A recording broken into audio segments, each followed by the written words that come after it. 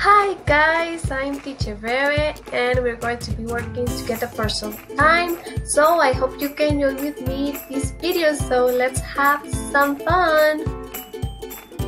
To start with this video, we're going to be studying community helpers and their place of work. This unit is called May I Help You? Okay, here we have some basic concepts about our community.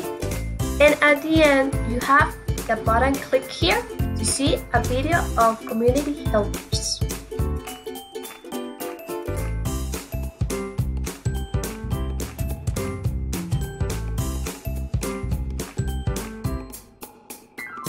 To start, we're going to see the community helpers, some of them that we have in our community. So in the first column, you're going to see the place.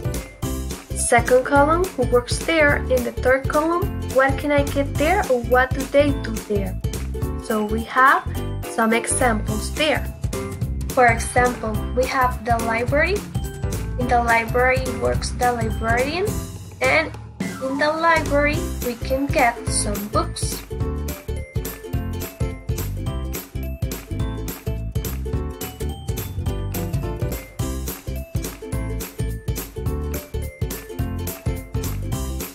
Another example is the fire station. There works the firefighter or the fireman and they protect us from fire or from danger.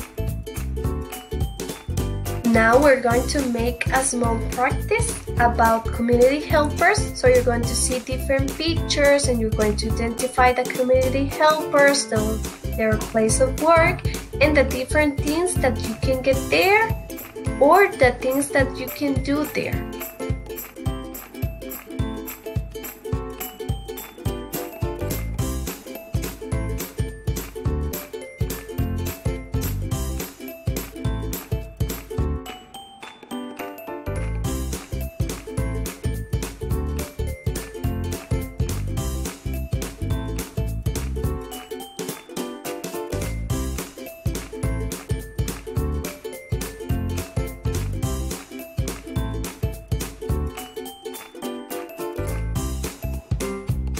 Okay guys, to conclude, remember that you can also be a community helper, so do good actions that help your community to be a good place.